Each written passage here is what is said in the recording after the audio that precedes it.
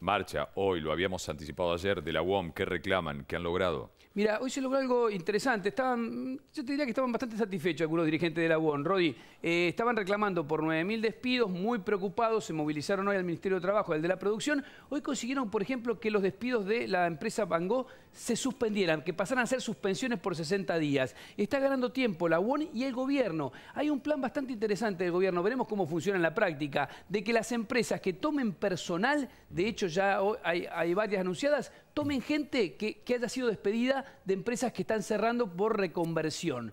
Vamos a ver cómo funciona, pero en el caso de los empleados de despedidos, ahora suspendidos de Van Gogh, sería uno de los casos testigos, pasarían a una empresa de cañuelas importante, Visuar, que produce eh, heladeras de alta complejidad.